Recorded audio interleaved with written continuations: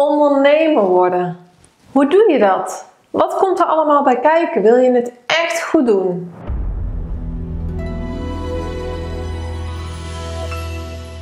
Kijk, vanuit de loondienst beginnen voor jezelf is eigenlijk heel simpel. Want je gaat naar de Kamer van Koophandel en je schrijft je in en je bent klaar en je hebt een bedrijf.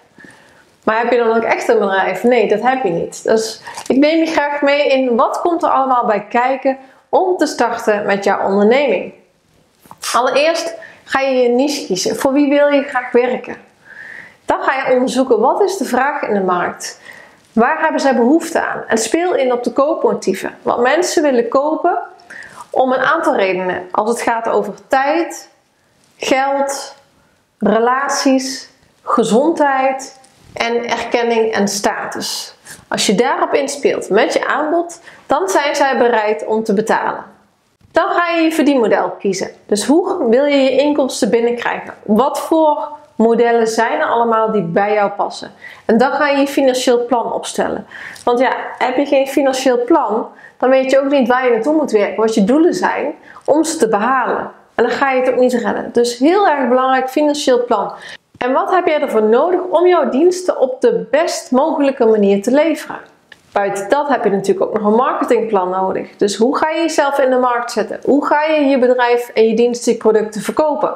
Nou, wat daarbij belangrijk is, zorg voor een goede organisatie. Dat alles goed geregeld is, de juiste techniek. En zorg ervoor dat alles zoveel mogelijk geautomatiseerd is, wat natuurlijk helemaal van deze tijd is.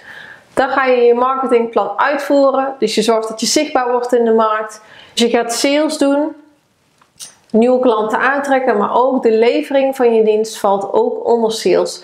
Te zorgen voor dat je klanten zo tevreden zijn dat ze jouw bedrijf automatisch door mond-op-mond reclame doorvertellen. En als je dat hebt bereikt, dan ga je bijschaven. Want niet alles is meteen goed. Dus bijschaven, verbeteren en dan weer optimaliseren om vervolgens de volgende slag te maken. Nou, een virtueel assistent kan uh, ondernemers dus heel goed helpen om hun bedrijf te laten groeien. Want bij elk van deze onderwerpen die ik net vertelde, kun je heel goed hulp gebruiken als ondernemer zijnde van een virtueel assistent om een bedrijf te laten groeien. Want voor ondernemers is het super interessant om met een virtueel assistent te gaan werken, omdat ze op een laagdrempelige manier een professional inschakelen voor niet al te veel uren. En zo kunnen ze toch een team opbouwen en niet alles meer zelf doen. dus de voordelen van een groot bedrijf zonder de risico's. Dus het is heel laagdrempelig voor ondernemers om deze stap te zetten.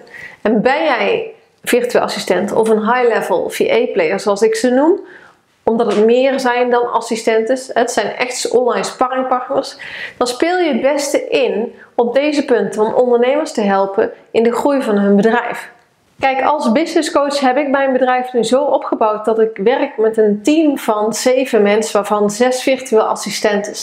En het voordeel daarvan is, is dat ik op elk onderdeel in mijn bedrijf een VA kan inschakelen. Maar ik hoef niet mensen echt in, in loondienst te nemen voor drie, vier dagen in de week. Ik kan elke VA voor een paar uur in de week al inschakelen. En dat is een fantastische manier om uh, te groeien als ondernemer zijnde. En voor high-level VA's is het een fantastische manier om een waardevolle bijdrage te leveren. En dan te werken op een manier die helemaal bij hen past.